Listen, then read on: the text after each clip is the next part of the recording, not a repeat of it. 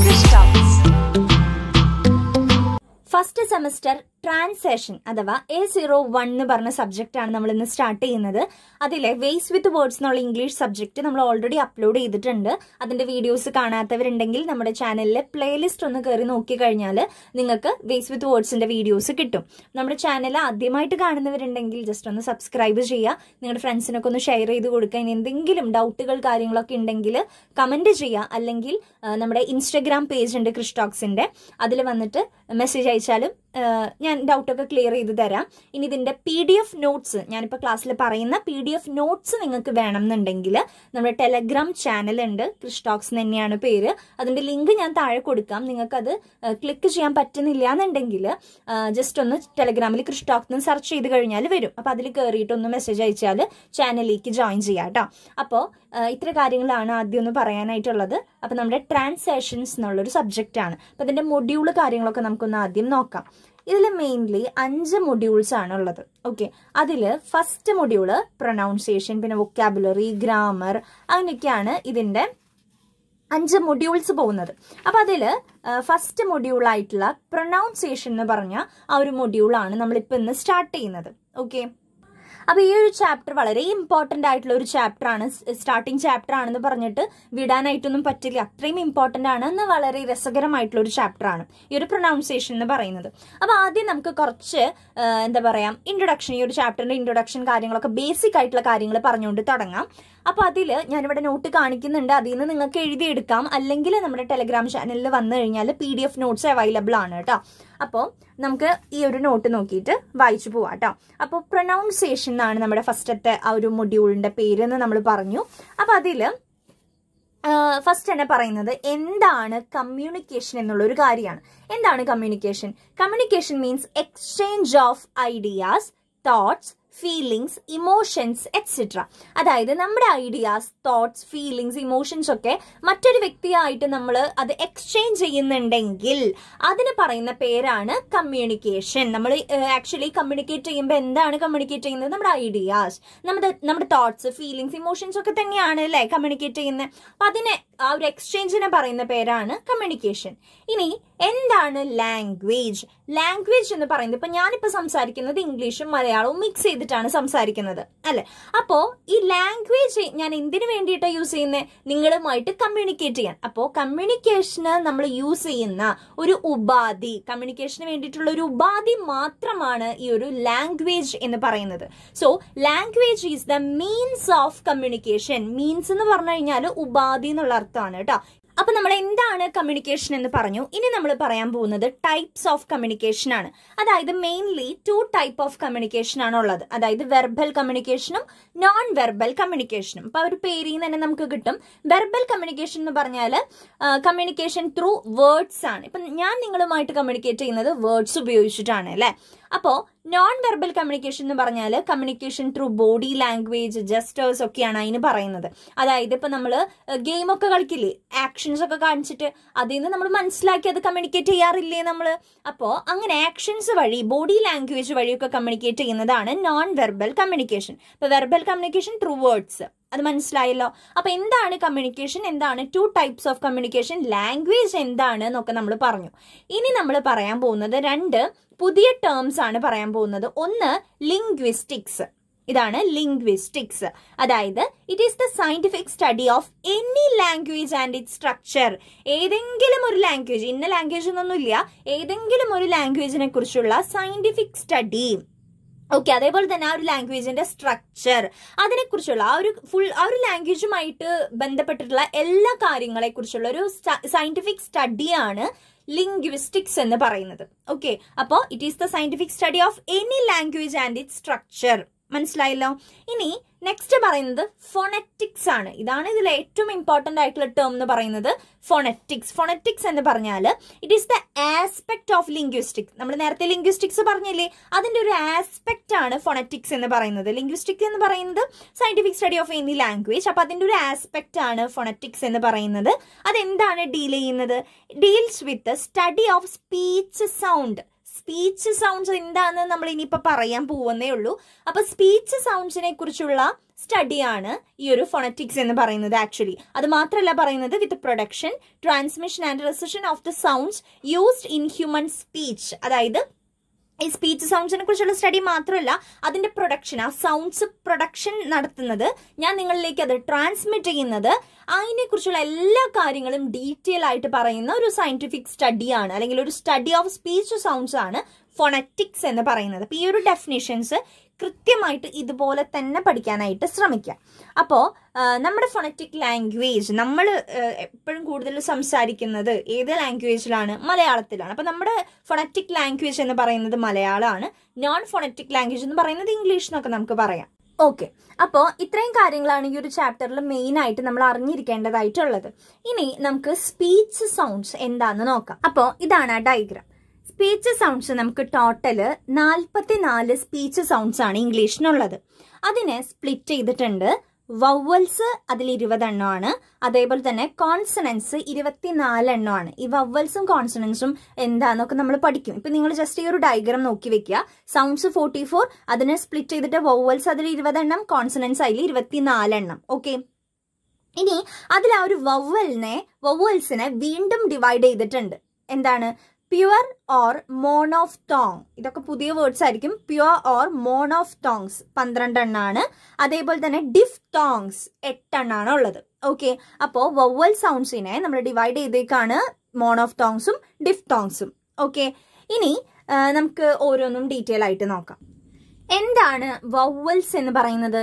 Vowels are sounds during the production of which the air escape through the mouth freely അതായത് നമ്മളൊരു ഒരു letter അത് നമ്മൾ pronounce ചെയ്യുമ്പോൾ നമ്മുടെ വായെന്നുള്ള ആ ഒരു എയർ ഉണ്ടല്ലോ അത് ഫ്രീ ആയിട്ട് പാസ് ചെയ്ത് പോവാണെങ്കിൽ അതിനെ നമ്മൾ വോവൽസ് എന്ന് പറയും. ഇപ്പോൾ നമ്മുടെ മലയാളത്തിന്റെ കേസ് എടുക്കാന്ന് വെച്ചാൽ ആ ആ ഈ എന്നൊക്കെ പറയുമ്പോൾ എയർ ഫ്രീ ആയിട്ട് പോണില്ലേ? അതിന്റെ ഇടയിൽ ഒരു തടസ്സങ്ങൾ സംഭവിക്കുന്നില്ലല്ലോ ഇനിയിപ്പോ കക്ക ഗംഗങ്ങ എന്നൊന്ന് പറഞ്ഞു നോക്കിയേ.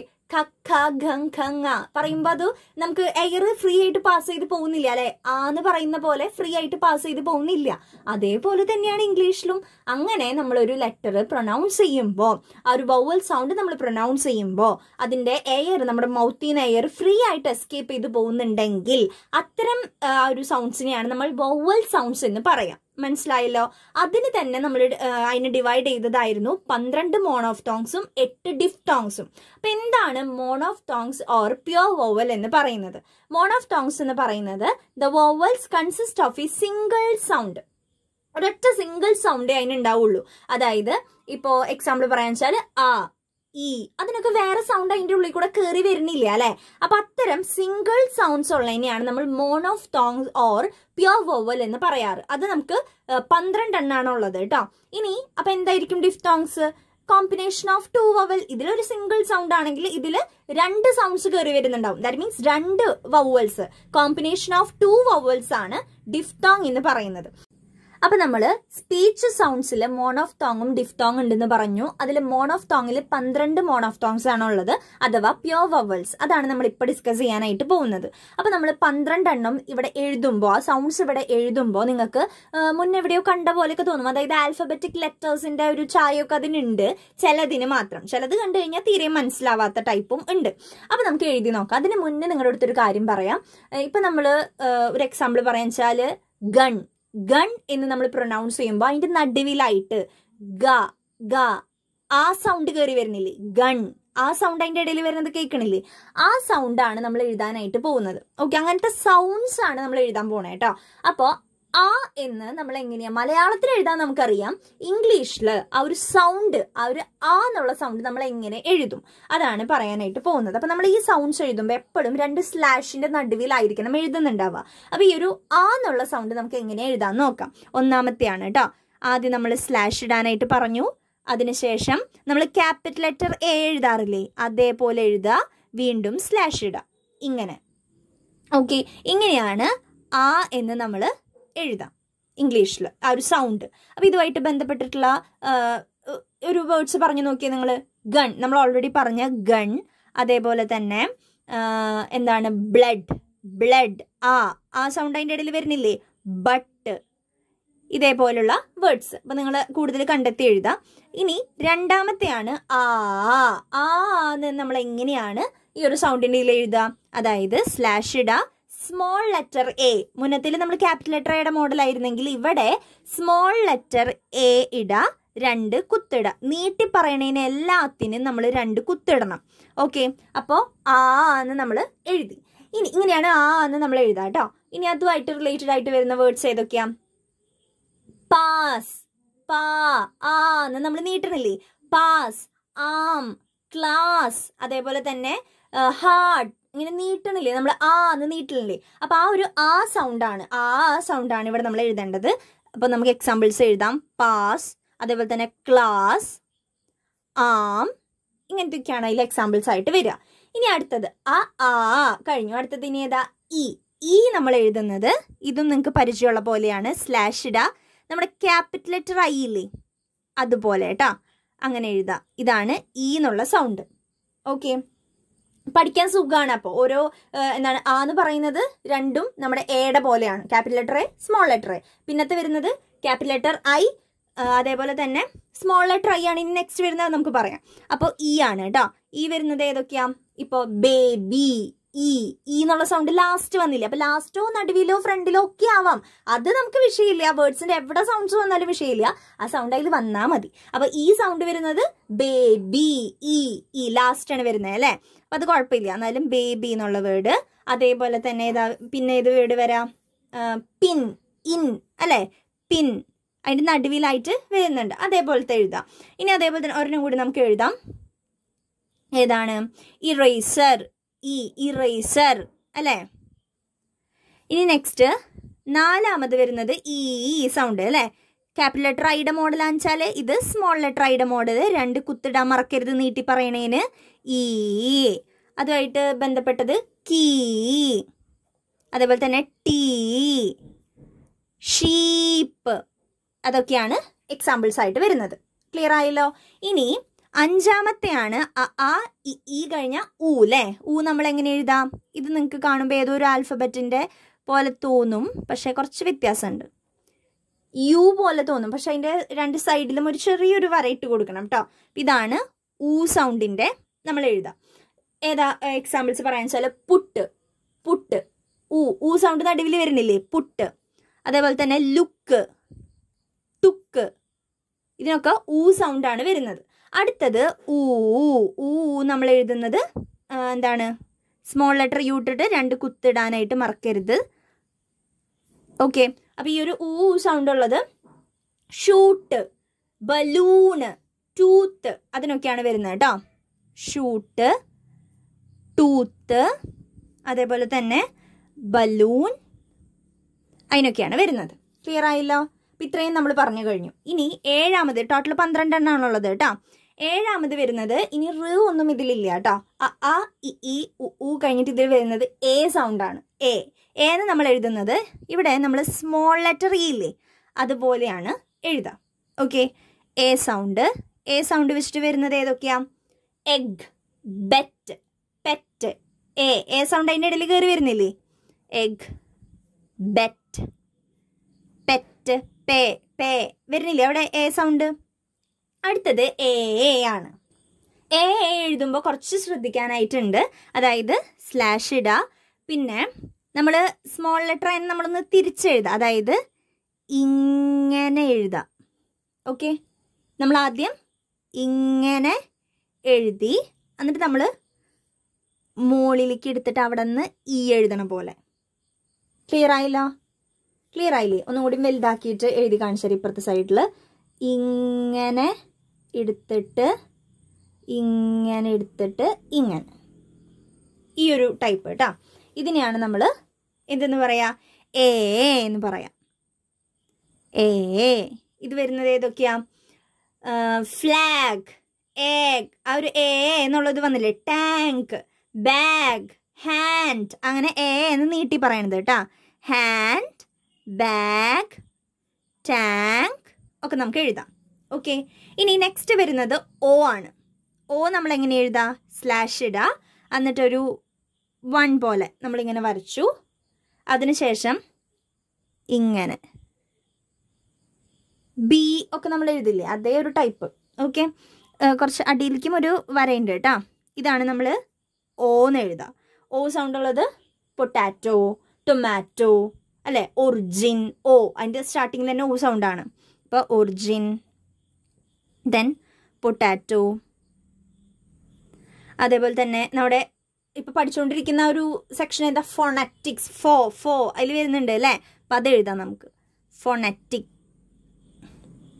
ഓക്കെ ഓ മനസ്സിലായല്ലോ. ഇനി നെക്സ്റ്റ് പറയുന്നത് ഓ. സോ പത്താമതായിട്ട് നമുക്ക് വരുന്നത് ഓ ഓ ആണ് വരുന്നത് കേട്ടോ. അപ്പം നമുക്കൊന്ന് എഴുതി നോക്കാം. ഓ എഴുതുന്നത് ഇങ്ങനെ. സി എഴുതുന്നത് പോലെ. എന്നിട്ട് രണ്ട് കുത്തിടാൻ മറക്കരുത്.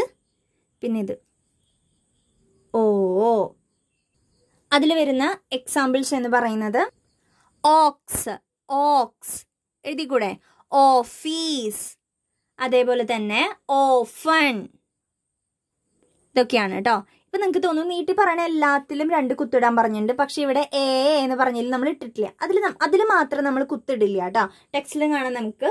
അതിൽ മാത്രം ഇട്ടിട്ടില്ല. ബാക്കി നീട്ടി പറയണതിലൊക്കെ നമ്മൾ ഇട്ടിട്ടുണ്ട്. അതൊന്ന് നോട്ട് ചെയ്തോളോ. നെക്സ്റ്റ് പറയുന്നത് പതിനൊന്നാമത്തെ നമ്മൾ പറയുന്നത് എ സൗണ്ട് ആണ്. എ എ എന്ന് പറഞ്ഞൊരു സൗണ്ടാണ് അത് നമ്മൾ എഴുതാം. നമ്മൾ ഈ ഒരു എ എഴുതിയില്ലേ? ഇങ്ങനെ. നമ്മൾ എഴുതിയില്ലേ? അതാണ് ഇവിടെ എ സൗണ്ടിൽ വരുന്നത്. ഓക്കെ അത് നമുക്ക് എഴുതുമ്പോൾ ഇങ്ങനെ എഴുതാം. ഇതാണ് എ സൗണ്ടിൽ വരുന്നത്. ഇത് നമുക്ക് മലയാളത്തിൽ അങ്ങനെ ഒരു ലെറ്റർ ഇല്ലാത്തത് കൊണ്ട് നമ്മൾ വെറുതെ നമുക്ക് പഠിക്കാൻ വേണ്ടി മാത്രം ഈ ഒരു മലയാളം ഒന്നും എക്സാമിന് എഴുതരുത് കേട്ടാ ഇത് മനസ്സിലാവാൻ വേണ്ടി പഠിക്കാൻ വേണ്ടി എളുപ്പത്തിന് മാത്രം എഴുതിയിടുന്നതാണ്. അപ്പൊ അത് നമുക്ക് ഈ ഒരു എ സൗണ്ട് മലയാളത്തിൽ ഇല്ല എന്നാലും നമുക്ക് എഴുതാം. ഓക്കെ ഇത് നിങ്ങൾ വേറെ എവിടെയും പോയിട്ട് എഴുതി വെക്കരുത്. മനസ്സിലാവാൻ വേണ്ടി മാത്രം. എ ഇട്ടിട്ട് ചന്ദ്രകല. എ എ സൗണ്ട് ഓക്കെ ഇനി എക്സാമ്പിൾ വരുന്നത് ഏതൊക്കെയാണ്? മദർ ഫാദർ എ ശരിക്കും ആ ആ ഒരു ആറ് പ്രൊണൗൺസ് ചെയ്യില്ല? അല്ലേ? കറക്റ്റ് എന്ന് പറഞ്ഞിട്ടാണ് അവസാനിപ്പിക്കുക. അപ്പൊ mother father clever okay father mother brother okay അപ്പൊ ഈ ഒരു സെക്ഷനിലായിരിക്കും ആ ഒരു സൗണ്ട് വരിക. ഏ സൗണ്ട് വരിക. ഓക്കെ ഇനി ലാസ്റ്റ് വൺ എന്ന് പറയുന്നത് ഏ സൗണ്ട് ആണ്. ഈ ഒരു സൗണ്ട് നീട്ടി പറയുന്നതാണ്. അത് നമ്മൾ എഴുതുന്നത് ഇങ്ങനെയാണ്. മൂന്ന് എഴുതിയില്ലേ നമ്മൾ അതേപോലെ. ഏ സൗണ്ട് അത് ഏതൊക്കെയാ? ഗേൾ കേൾ ബേർഡ് ആ ഒരു ഏ നീട്ടി പറയണില്ലേ? കേൾ അതേപോലെ തന്നെ ബേർഡ് ഇതൊക്കെയാണ് അതിൽ വരുന്നത്.